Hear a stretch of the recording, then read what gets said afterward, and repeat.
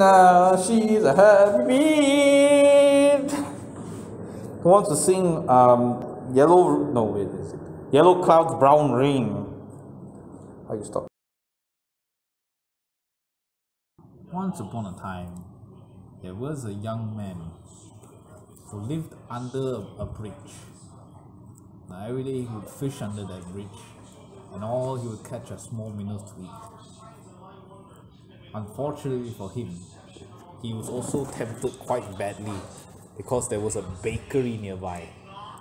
And every day as he was eating that miserable small fish, he would think about the bakery and think and think of all the cooked baked goods inside and he would catch up a bunch of evil plans how to become the cupcake thief. Da, da, His first mission to steal the fresh baked, baked chocolate cupcakes that came out every day at exactly 7 o'clock.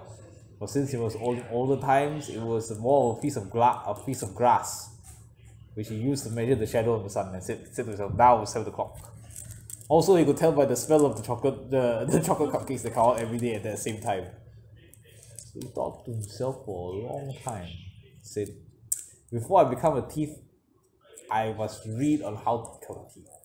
I must hear, I've heard from how to people how to become a thief. And that was very wise. Eh? Eh? I mean, being a cupcake thief is not wise. I mean, He's studying about it before he does it, what? That's a wise idea.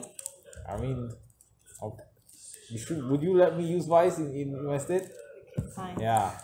it's the same thing like that. So he thought to himself, you know, I heard a thief that would record down everything that uh, his his uh, qu- his prey would do. You know, his quarry. So he said, okay, today instead of eating the the fish I caught, I'll go into town and try to dig around the garbage.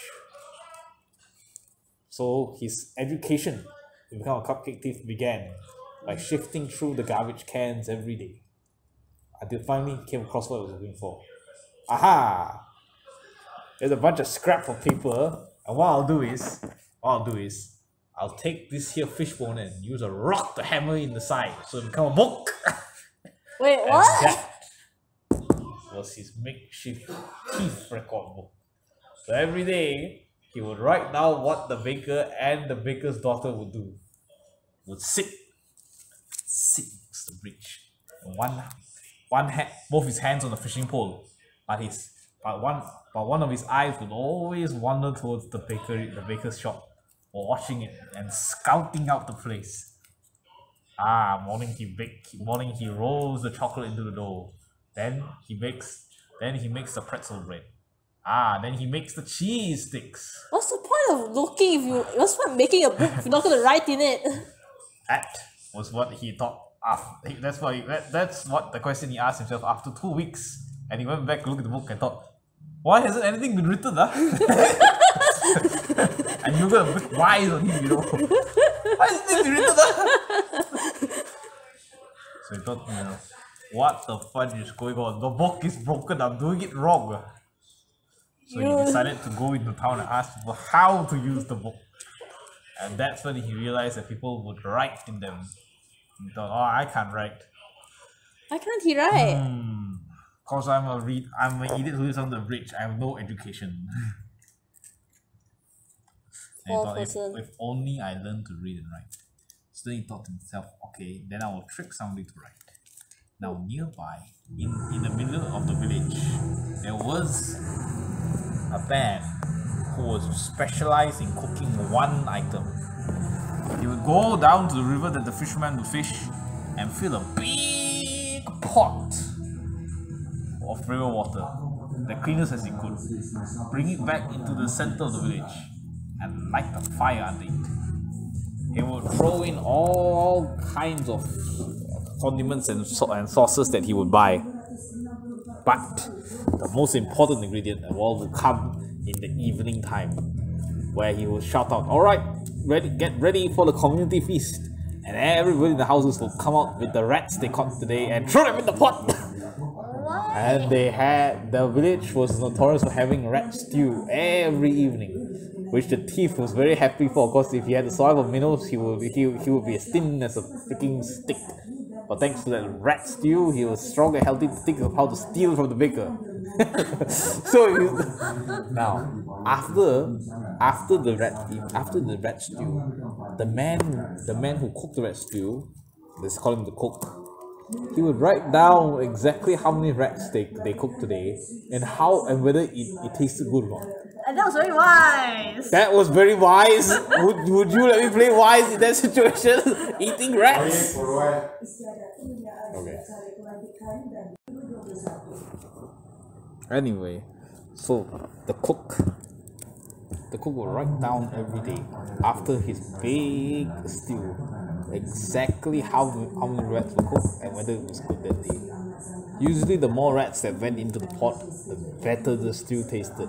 But there were some rare occurrences where people just added two rats, and the soup tasted as well as good as it did 28 rats. And he would take that and read it at night and think on and lie down on his bed and think about it. How is it that two rats are better than 28? And so he came to the conclusion that there must be special rats that exist in this world that taste extra nice. In fact, he was since he has read uh, since he, the this man can actually read, he's actually read a few cookbooks. He's also read he also read other books when he was young, and among those books was a was a magic grimoire which listed down the which listed down certain beasts and monsters. The cook's dream, besides cooking rats, was to one day partner with a, ma- magi- a mage and help him write a grimoire on special rats.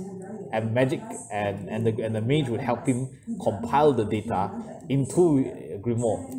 So they will, and then they will become a bestseller and he will become very respected you know. So his writing skill was improving every day as he learned because he could learn new words and write it down.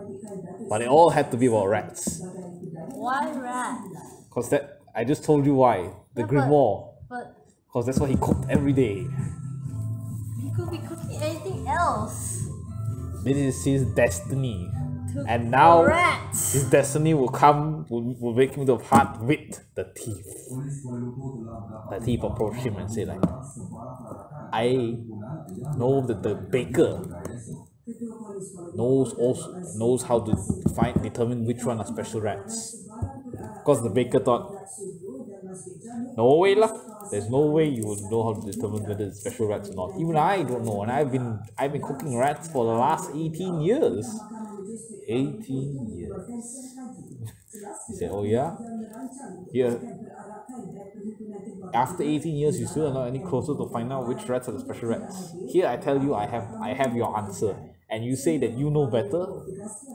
And fair enough fair enough. Okay tell me then. He said it's got to actually to make a rat a special rat must eat cupcakes and Cupcakes. that's exactly what the cook said. Cupcakes, yes. See, when a rat eats the cupcakes, especially the one made by that baker over there, eh? its flesh becomes sweet because cupcakes are full of sugar. And when you put them in the pot over the fire, boil them for a long time, the sweetness of the cupcakes mixes with the rat flesh just right. It even makes the fur that you throw in taste good. The baker and the cook thought, hmm, well, even though what he says has no proof, he, I don't have any proof to say that he's wrong. I never tried it before. Then he said, if you're so smart, why do and we're if you're so smart, then I should be smarter, right? Why don't I just buy some cupcakes and throw them in the pot? He said, ah, that's what you cannot do. Because yours is a rat stew. Have you ever tried mixing in meat and cupcake in the same pot? So he thought to himself, at most he would mix in plain bread, but he would never use plain bread to make the stew, right? The meat must be sweet. You can't just throw sugar inside the pot and expect it to taste good, right? And he said, yes, rat flesh has a certain taste. now the cook, you go home and think about this, and tomorrow I will teach you how to make the special rat. And so the cook went back home and lied down on his bed and thought to himself, "Hmm, you see what he's saying true, huh? And he thought about it until he fell asleep. Sleep. Sleeping. Okay. Go sleep. Hurusa, it's my turn. Take a card, take a card. Okay. So, the cook fell asleep late that night. And when he woke up, he was he thought to himself, okay, oh, since there's no since I can't prove the thief wrong, the only way to do it, the only way to to see if it's cor- this is correct or not, is to follow the thief plan. I mean the fisher's plan because he doesn't know he's a thief, and test it out. And so he went to the thief and he said, "Alright, I'll hear. I'll test. I'll test out your theory. We'll go buy some cupcakes and feed it to the rats, and then we'll cook the rats. Food. Shit. I didn't manage to put on one And, card. and then he's like, yeah, yeah, yeah. Okay, now see this here book. And it's like, that's a book. Don't worry. I want we want you to do is, you see, we must track the baker's activities because if we know exactly when he throws out the cupcakes, we know that the rats will come around that time, and those will be the special rats. We must catch them all. Believe me, the stew, the rat stew will taste different that night. And so the first day, the baker gave up his, he not the baker, the cook, instead of preparing a big pot of water like he usually does, sat with that idiot fisherman near the river. Why said, don't they just buy freaking cupcakes? Shut up! It's the best part. And the fisherman said like, okay, seven o'clock, he bakes the chocolate cupcakes. And he goes down. Seven o'clock, chocolate cupcakes. Okay, eight o'clock, he takes out the cheese to, to, to, to later make cheese sticks. Write this down. And he's like, eight o'clock, cheese for cheese sticks. Nine o'clock, he puts the he puts the cheese sticks into the oven. Cheese sticks into the oven. Ten o'clock, he goes to the market to buy flour. Goes to the market to buy flour. And that was their whole day. All the way from 7 o'clock in the morning to 7 o'clock at night. 12 hours they sat there and for every 5 minutes they wrote down the baker's activity because they could see everything through the window. What about the point where he throws the cupcakes out and then they go and catch the rats? I'm getting to that part. so, exactly at 7 o'clock in the evening, the baker would go to all his confectionery goods that were not sold and put them in plastic and wrap them up for tomorrow consumption. What? And then he would take out from the fridge the leftover cupcakes that weren't sold. That means the, sec- the cupcakes that were sold for two days or whatever confectionery not sold for two days. Open that and began eating. And they watched as he ate and he ate and he ate and he ate and he ate and he ate. He ate 17 cupcakes, 4 cheesecakes, 23 cheese sticks, 6 loaves of bread, and 7 strawberry encrusted escalades. How big is the baker? And they look at each other like, shit. Whoa! he doesn't throw away the cupcakes. How big is the baker? And the cook thought, you lying bitches, I'm bashing you. you said you would throw away the cupcakes. And he chased the bloody thief down the road. He picked up the damn pot and You've wasted my day. I haven't fulfilled my, my, my duty of cooking rats. I'll tell you, there'll be something to cook tonight, and it's gonna be you when he chased the cupcake thief down the road. Kind of kept shouting down the road, Wait, wait, there's a carriage, there's a carriage gonna hit us. And the big and, and the cook was like, No, he will not hit us. And indeed the carriage did stop. Stop in front of a tree. Oh. And out from that carriage step. the very wise queen of the kingdom oh. and sound and asked, What are you doing running around with a pot chasing after this person? and he and the cook told the queen, this man has said uh, that there was this extremely special rat. That when you cook two of them, it tastes just as good as 20 rats because they eat cupcakes. But then we, we sat and we waited, and the baker didn't throw away any of his cupcakes. And then the queen said, But that doesn't prove that his point is wrong. It doesn't prove him wrong at all. I mean, it still could happen. Even if the guy just didn't throw his cupcakes. Your, your theory is still not proven wrong. The cook stopped and realized this. The queen rescued him from being whacked by the cook. I was waiting for you to Bitch. make sure. I was waiting. Bitch! And so yeah, and the queen said, "Well, you guys, it is very interesting theory. Continue on. I'll be back in exactly two days." Why exactly two days? She, she was Why? bored. She was bored as hell and thought this was quite funny. She'll come back later, so she went off. So the cook and the cupcake thief went back to the stinking one fridge, and he said to himself, "Okay, right." Lean forward.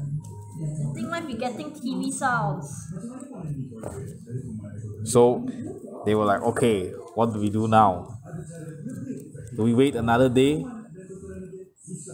So then the cupcake thief thought of a very bad, evil plan. He said, okay, what we have to do is this man is obviously too smart for us. We have to find out exactly where they went go hiding cupcakes. Aspect smart. Okay. Alright. We must find what, what was what did you say again? We must find out where he actually throws the cupcakes. Yeah, but he ate all the cupcakes, everyone saw that. There must be some cupcakes he throws away, or else, or else the cook, the cook will beat the shit out of him. He must prom- he promised cook that the rats eat the cupcakes by some way, right? Yeah, but how do they know that it, it must be this exact place? It could be anywhere else. Okay, um, yeah. Then you explain. Okay. So the cook, I mean the fisherman told the cook, alright, in the next town over, near a bunch of ruins is where people throw away unwanted items, food that was spoiling and so on. And that's where all the rats will gather. They Maybe that's where plan to go there and find the special rat. The cook thought, okay, but wait. We... Why are we going so far away to look for freaking special rats? You told me there were special rats right here. And it's like, did. You didn't. He did. He said that the, the rats would eat the cupcakes. That's how the they were able to cook the two rats that taste as good as 28 rats. So he said, yes, but the ruins there, the ruins there, there, there there's this cave. And that's where all the rats go in at night, you know? So they're fine. They made their way to the ruins. And there was a great big pile of garbage. They came out from the city, from town and the city nearby. So it was a central location where everybody came and throw their garbage they didn't want. But the food scraps would come from the city, and there was uh, there was garbage galore, and the rats infested that place like ants on an anthill, and the whole floor was moving. And he said, "Holy crap! How much rat stew could you make with all of them?" And the cook was like, "This is where I will live from now on." well, what about cooking for the town? He's like, "Oh yeah." Why don't he just come here, get the rats, and go back home? Why he wants to live here? That's what the, that's what the fisherman said. It's like, yeah, I'll do that. I brought my pot. I will kill some and throw them in. I'll kill some and throw them in. Yeah, I'll kill some and throw them in. So, so as soon, but as soon as he, as soon as he managed to get catch rat, all the rats stopped moving. And the fisherman was like tapping him on the back. Let go of the rat. And let go of it, and all the rats resumed. There's something wrong with the rats here. The rats are monsters. and then the sun began going down and all the rats stopped eating stood up on their back legs and turned to face in direct one direction or dashing to one in that one direction There was like a giant carpet being pulled to one direction. Carpet of fur, rat fur. it was like, Rat what the- And all the rats ran back into the cave. And then the, the, the, the cupcake thief and the cook look each other. And they're like, where, the cook said, where did you hear about this, this ruin, this cave? The cupcake thief was like, you know, um, I'm not really, I, I, I think some, I all heard somebody saying that the baker, you, the bake, the baker was telling them the story. And he said that everybody should stay away from this place. It's a secret. Is it? Yeah. But the beggar under the, the beggar fisherman under the rock know, knows about it. Because it's a secret that only the beggar on the road knows. So the secret that only the baker knows, okay? Why how he knows this? Eh, so I can, I can actually go on. It's actually a secret, yeah. Hooray! It's a secret. And so they followed the rats that went deep into the cave. There was a beast. Damn it lah! You never, you only let me talk twice. what the heck? I thought, oh my god, what's that? And the beast would pick up the rats and gobble them up, What? What? gobble them up. And it's like, what the hell is going on? Wait, wait, wait, wait. The rats ran straight into the cave to be eaten by a monster.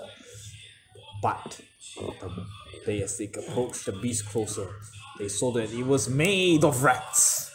Uh, wait, what? It was a, a it was like a big monster that's made from rats joining together, and they were forming a great beast. And You mean like the rat king from the Nutcracker? Yeah, and it was growing bigger.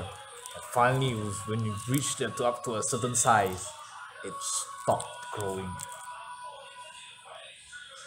And immediately, it would start dancing around Around what? the cave, twirling and twirling and jumping and dancing.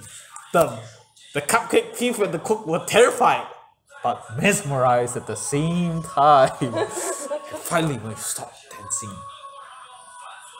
it began vomiting out cupcakes and confectionaries of every kind. Wait, what? And they were like, God damn! What's going on in this sick world? and that's when they turned around they saw the goddamn baker. Oh my god! you were eating that! I want to still eat that! Wait, what? This is how you make your cupcakes? And the baker's like, I've never known how to bake. Wait, then why were they watching the whole day? I'm very good at pretending how to bake because of, because some people have said that I'm some people have said that I'm, the way I do things is funny. And all day I pretend to bake. Can I sell the humans the, the cupcakes made by this creature? Yeah. What does this even mean? What, what even is that? It is an ancient god. it it was once a harvest god. And people would sacrifice their scrap their what they would sacrifice a certain amount of bio food to it. Anything that used to be food can be sacrificed to it. You in the past it would have great offerings of sacrifice. And in return it would give back awesome blessings of food to people. It's a food god, a god of uh, the god of the land. But now it, all it has to eat is scraps. Then why don't you give it food? And the they, and that's why you asked. And the baker's like, I do give it food. And he showed them one of his customers all chopped up. Oh And- my god! and the cook is like, you, what have you got us into? What have you got us into? and the cook is like, honestly, I just wanted some cupcakes. I just what is going on? What is wrong with you? So they're like, "Do you have any weapons? I have the pot. And he threw the pot at the at the, the big at, at the baker. The baker didn't expect the cook to be so strong to throw a metal pot at him like that. And they ran out of the cave. But the baker again chasing them. And he's like, Go away! Go away! go away! I can never go away. And the rats all came and bit the baker. What? And then the and then they let him go. And he started chasing after them. And they ran down the same road. Where's the road? Find the road. Here. A was running, and they're running, and they heard the baker, and and they heard the baker's footsteps coming up behind. First, he was like this, then the baker started to screech and scream, and it's like, and it's like, you now that you know my secret, I can never let you guys go back and the witch. And the baker started to his footsteps started to get heavy. He went like and he started coming down the road fast and they turned around and they saw his shadow it reached over the forest and he was turning into a great giant version of himself twisted by the black magical powers god and he Wait, wait, wait, wait. The rat god only has power of food. What the heck has he turned the cook into? a giant. Well, not exactly a giant as big as normal giants, but a horrible disfigurement, a monster plus a man. But he's the The- god of food. What the heck? Again, he's been eating garbage for too long, right? Okay, He's become fine. corrupted and evil. What do you think he's been eating humans? and it's like, you will join us and have food forever. and the fisherman stopped for a while. Thought, wow, food forever. Hey, wait, no, that's me! Start running. Start running. And thought to himself, I can never get out of this. You, you back. Wait, what? Wait, Now, what?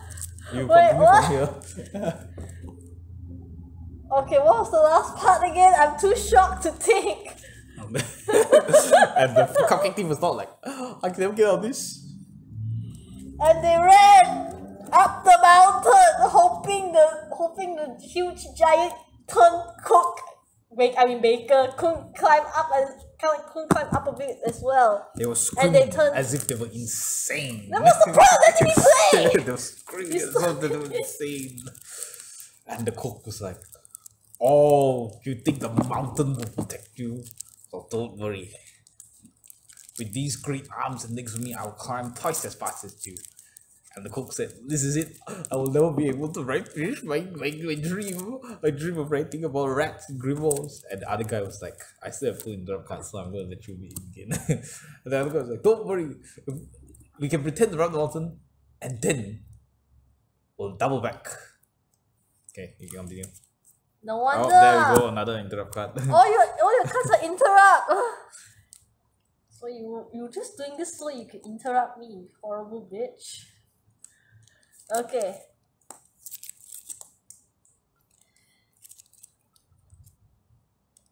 So they try to double back, but then the giant was saw them running back, doubling back, and chase after and continue to chase after them. Luckily, they were close to a boat, and Which they has- took the boat to the island. In hoping Again, to escape. you're jumping. You're the one who gonna It interrupt doesn't me. matter. I have interrupt cards. By jumping like that, you you you- you're gonna get penal- penalized. You got three interrupt cards. That's How my luck. That's my luck this turn. Bitch, okay, your turn ah. Take ah. and interrupt. As they were climbing up the stairs, the boat, a big fat rock fell to the boat, cracking the mast. Cracking the mask. They're like, "You can't even let us get off on the boat." Okay, Jonathan. You're gonna interrupt me. Duh. Uh, and then there was a bird. Yeah, interrupt ah. And the- bird started singing, and then it was crushed by the giant. I love the and then It's the an awesome cupcake. The cupcake thief said, "All I wanted in life was to have food. I was orphaned, and my parents didn't feed me properly. That's how I ended up like this. Now I'll be eaten. But I'll be taken by some giant to be fed to some rat god." Wait, what? A shocking reveal that he was an orphan. what kind of So they said like, don't worry, if we jump into the waves, giant can't see us. Why? It's the middle of the night, remember? The night of the red will change, we just jump into the water, you can't see us. They jump into the murky water. They try to swim. They swim in the dark. But you see, the giant was evil. And his eyes glowed green and saw and his eyes followed them in the water. And cook said, as he draw breath, I think he can still see us. Oh, don't worry, we'll keep swimming out. But when we get swept away by the tide, don't worry. Everything's gonna be fine. And we just have to wait for the sun to come up. The sun will come up one day. The sun will come up one day. You're gonna interrupt me. I can't unless you throw, you remove the rule of no interrupt. Uh. Uh, And then there was a wolf. and they heard the wolf from the back start screaming, start, start howling. And then the wolf got up and started juggling balls. Wait, what? And then he told the cook, Stop! He's beginning to use uh, telepathic at- attacks on us. We're starting to dream of things that we can't see. I was like, Don't worry. Don't worry. What we have to do is, we have to, we'll have to take him on head on. Now, there's no, if we keep dreaming and, and dreaming of wolves dancing dancing around, he'll probably put us to sleep. And put us to sleep in the middle of the ocean, we'll sink down. Don't. And the cook said, Okay, what do we do to defeat our enemy? I said that if he wants, he wants, it's a sacrifice he wants, then we'll give it to him. So they swam to shore, and the giant began following them.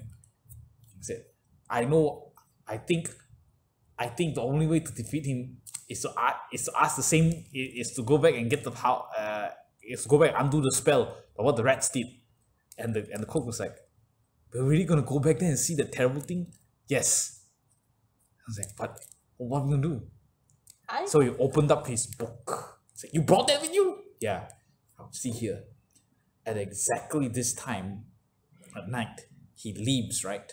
We see in about we've also since we've been sitting there the whole day, we've, we also know that at some points at the day he will light incense. Just get to his house, break the incense, and maybe something will happen.